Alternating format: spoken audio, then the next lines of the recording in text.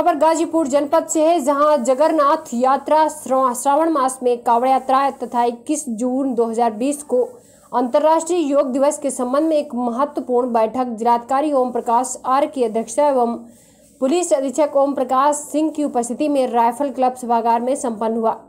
बैठक में जिलाधिकारी ने बताया कि जनपद में कोरोना वायरस का प्रकोप लगातार बढ़ता ही जा रहा है, रोज़ाना ही लोगों की सैंपल जाँच के लिए भेजी जा रही है।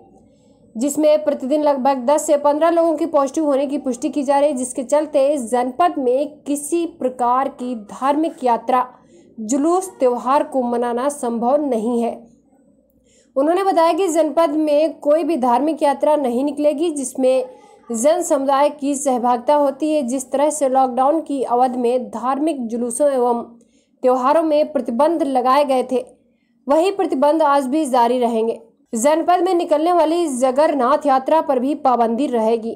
प्रत्येक व्यक्ति को भारत सरकार एवं राज्य सरकार द्वारा जारी गाइडलाइन का अनुपालन प्रत्येक दशा में शत प्रतिशत सुनिश्चित करना होगा।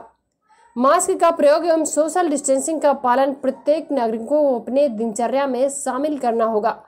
उन्होंने बताया कि प्रत्येक वर्ष की भांति इस वर्ष भी 21 जून 2020 को प्रातः सात बजे से अंतर्राष्ट्रीय योग दिवस मनाया जाएगा।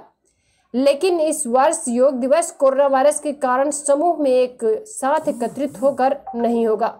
गाजीपुर से कमलेश यादव की रिपोर्ट। अगर खबर अच्छी लगी हो तो खबर को लाइक करें तथा चैनल को सब्सक्राइब कर बेल आइकन ज़रूर दबाएँ और शेयर करना न भूलें।